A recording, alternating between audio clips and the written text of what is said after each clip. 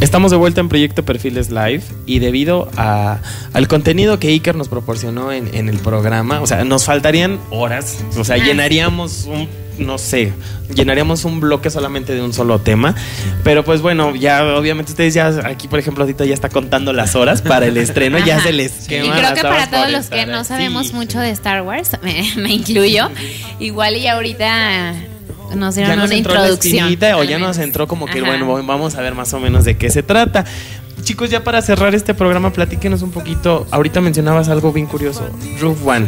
Se no sé si esté bien pronunciado pero este comentaban que es un spin-off de todas estas sagas. Yo tengo que decir que me enteré de esto porque me dio muchísima emoción porque una de, una de las actrices que, que me gustan, que es Felicity Jones, este, va a estar participando en esta película, que bueno, esta Diego actriz. Y Diego Luna, ¿no? Que después también anunciaron que iba a estar en esta, en esta película. Platícanos un poquito de qué va esto, esta spin-off. Bueno, esta, esta película eh, la presentaron también en Celebration. Ok. Eh, la historia no se va a concentrar en personajes ya conocidos. Y va a estar situada entre episodio 3 y 4. Digamos, momentos antes de episodio 4, digamos, ¿no? Lo que va a dar a pie o lo que nosotros, de lo que nosotros sabemos de episodio 4, de que Artu tiene los planos de la estrella de la muerte, algo así. Entonces, Episodio 4 es el la primera, la del contraataca. 77. Ah, Una nueva esperanza. Ah, bueno, no, Una espera. nueva esperanza. Lo que nosotros sabemos de eso, lo vamos a ver en esta película. Esta película, dijo el director, no me acuerdo el nombre del director, ¿cómo se llama? Este, Josh Trank. No, ese fue el que se fue, ¿verdad? Ahorita les decimos tantos datos que o sea, hagan paro, ¿va? Este, eh, dijo que la historia era, digamos, como de guerra, como una película de guerra, pero situada en el universo de Star Wars. Como salvando al soldado Ryan, ¿no? Ah, digamos ok, así. ok. Entonces va a estar interesante porque vamos a ver un perfil distinto de lo que es Star Wars, ¿no? Porque, pues, eh, las seis películas o las ahora siete, pues se centran mucho en lo de la fuerza, los Jedi y todo, ¿no? Y se ha dejado a un lado el asunto militar, digamos, ¿no? O de la gente común y corriente, los rebeldes que andan ahí, este, muriendo por, por la república o muriendo por el imperio, ¿no? Entonces vamos a ver esos detalles. Ok. No se ha sabido mucho, ¿no?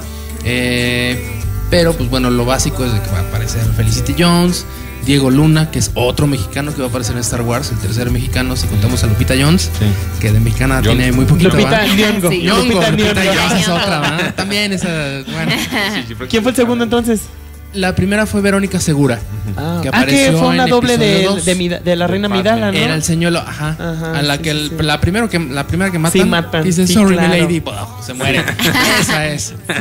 De hecho hay un blog de ella, un post en un blog que hizo ella muy interesante de cómo fue que obtuvo el papel y cómo ella eh, fue a la sesión de escaneo de su cuerpo para hacer un monito después, etcétera, y de El cómo requisito- conoció a Lucas. El requisito era que se parecieran a Natalie Portman, ¿no? Natalie Portman, Para- exactamente. físicamente Ajá. tuvieran un parecido, porque, como dices, era un señuelo Sí. para que la asesinaran, ¿no? De hecho, curiosamente, digo, dato curioso rápido. Eh, Keira Knightley, la, la- Ajá, sí, que ahora sí claro. que es una actriz ya ahorita súper conocida. También. Ella inicia su carrera precisamente en Star Wars, en el episodio 1, como el señuelo de, de Padme, o sea, el señuelo de, de, de Natalie Portman. Era realmente ella era como un extra. Y Sofía Coppola también aparece como otra de las eh, maidens o como les dicen, de las damiselas Sí, que las tiene damiselas. Que tiene Padme. Sofía, hija de Francis. De Francis De- Ford ajá. Coppola. Ok. Ahora ya una di- directora Sí, muy claro. consagrada. Sí, sí, sí. Que también rechazó un proyecto de Disney, rechazó La Sirenita, creo. O sí, salió, tuvieron por ahí diferencias Sí, y sí. el chiste es que Sofía Coppola se fue. Pero bueno, entonces nos comentabas que Diego es el tercer mexicano El que... tercer Y, pero me imagino que va a tener una participación más Sí. importante. De hecho hay una foto, ¿verdad? Hay una la- realmente de la película. No por se lo mismo, sabe mira, mucho. Disney también ha sido muy cuidadoso en, en qué vender y qué no vender al público en general. Ahorita su producto principal es esta película que vamos a ver. Entonces, realmente casi toda la información que hemos visto se ha enfocado en esta nueva película. Este, una vez que, que pase el fenómeno, el fervor de esto, que yo calculo por ahí de febrero o marzo, van a empezar a darle ahora sí ya más importancia a su siguiente proyecto que va a ser Rogue One, que sale en diciembre del próximo año. Va a tener, van a tener casi un año completo para, para promocionarlo. ¿Y ustedes creen que le metan el empuje que le están metiendo ahorita al despertar de la fuerza a, esta, Mira, a este spin-off? Mira, te siendo bien sincero, o sea, yo creo que sí lo van a intentar, pero siendo sincero, no creo que pegue tanto, porque al final de cuentas, los spin-offs son historias complementarias. Es decir, son historias que si, que si viste las películas principales y ves el spin-off, te da información extra, Ok. pero que no es esencial No es para entenderla. claro. Entonces, dado que no va a haber eh, Jedi, porque ya dijeron que quieren centrarse en, en- en personajes comunes y corrientes en la galaxia, como decía Tito, no va a haber Jedi, eh, no va a haber, no va a salir este eh, Luke o Anakin, o sea, van a ser como, como personajes distintos. Es probable que no haya tanta, eh, tanto interés de, de parte del público. Digo, aún así estoy seguro que va a, A generar un un- hit, ¿no? sí, sí, sí, Pero no como, lo- como van a ser los episodios. Al siguiente año, a los seis meses de hecho, sale episodio 8, que ya se está filmando, ya empezó la filmación. Un año después viene una película que es otro spin-off que es de Han Solo, de, de Han Solo cuando era joven. Ese script ya se, ya, ya se, o ya se está escribiendo o ya se escribió, no sé. ¿Ya se sabe quién va a ser Han Solo joven? No, todavía no han dicho. No, no, Y no. después de eso viene episodio 9. Y después de esa se rumora la de Obi-Wan. Al parecer que va a ser una película de Obi-Wan, también joven durante los años que estuvo perdido en Tatooine. Ok. Y de ahí en adelante, o sea, van a seguir habiendo Sí, sí, más sí, y más y claro. más proyectos. Este, te mencionaba, al parecer también va a haber series de televisión de Netflix. Que pues ahorita es el boom. Sí. O sea, series como Game of Thrones y cosas por el estilo. Bueno, eso es de HBO, pero. así- También nos mencionabas que hay diccionarios, ¿verdad? Sí, hay muchísimo libro, mucha lit- literatura, este, que incluso afortunadamente ya se puede conseguir aquí en México, ya está llegando antes, Sí. imposible. Ahorita si ustedes van a las principales eh, librerías o, o tiendas departamentales sí encuentran ya Sí, libros. sí, sí. Este, De hecho, entras y está el, el- todo en la mercadotecnia ya de Exactamente. despertar, ¿no? Y esos libros, hay de todo tipo de libros. Hay libros de arte, hay libros que te cuentan historias, o sea, novelas o cómics. Libros de arte que son más como de como informativos para, para que sepas cómo Como guías la visuales. película. Ok. O las enciclopedias, por ejemplo, que te llaman, o sea, te, te dan una, un, un registro de información como si fuera un mundo real, ¿no? Pues, o sea, pero de ese mundo Complementando la información que han Entonces, visto. Ah, yo quiero saber acerca de tal nave, pues agarras y te pones a leer la enciclopedia. Muy bien. Como, como una enciclopedia normal de un tema común y corriente. Chicos, eh, platíquenos un poco, porque como ya lo habíamos dicho desde un inicio, ustedes pertenecen al Club de Fans Oficial en San Luis Potosí. Platíquenos de su club, este, las actividades que realizan, este, cómo puede ser uno miembro para los que estén interesados, cómo los podemos encontrar. Platícanos un poco de eso. Mira, el club, eh, para empezar, tiene ya 15 años. Ok. De hecho, este. eh, bueno, en años anteriores hubo un club de San Luis, pero se dispersó por bueno, por asuntos personales de los miembros. Claro. Y, no- y Alfredo y yo lo, lo- lo retomamos. Ya tiene 15 años. Eh, las actividades, pues, principalmente son eh, en eventos así, digamos, Sí. en eh, presentaciones de películas o cuando hay proyecciones especiales. Eh, hay una fundación, bueno, uno de los, eh, algunos de los miembros que están en el club eh, manejan una fundación para ayudar a los eh, a chavitos, eh, no sé, desahuciados, a, a niños huérfanos que viven en casas hogares o que están en hospitales, que van y pues bueno, les entregan juguetes, sobre todo en estas épocas. Ok. Se hace colecta, eh, para esto se hacen eventos, etcétera, ¿no? Eh, otra de las actividades, pues bueno, son las reuniones ahora sí que del club, reuniones internas, en donde pues se ven temas así de pues, tanto del club como de la historia, ¿no? De que, ay, no, pues que ya vieron el nuevo capítulo de Rebels, etcétera. ¿no? Hablar y todo. Eh, en convenciones también, eh, tanto dentro de la ciudad como fuera, también nos organizamos para, si es aquí en San Luis, pues poner un stand, ¿no? Para presentarlo a, la- a los curiosos que, que vayan y... Pues nos platicaban que tienen un, o una exposición o un stand en ingeniería, ¿no? En la Sí. Facultad de Ah, sí, Ingeniería. de Así hecho, eh, perdón, perdón que te interrumpa. Toda esta semana eh, en la facultad, en el lobby de la Facultad de Ingeniería de la Universidad Autónoma de San Luis Potosí, pueden encontrar una exposición de coleccionables de Star Wars. Eh, evidentemente la entrada es libre. Está padre para- porque pueden ver como la evolución a través de estos casi 40 años de historia de cómo han ido evolucionando los juguetes. ¿Y ustedes la montaron? Nosotros la montamos en, como en decorador. colaboración con, con el con el Con con la universidad Y también este fin de semana vamos a montar una exhibición de, también de coleccionables, un, un diorama que viene siendo como una maqueta, una representación de, de alguna escena de la película. ¿En dónde? En el cine que está en Plaza El Dorado.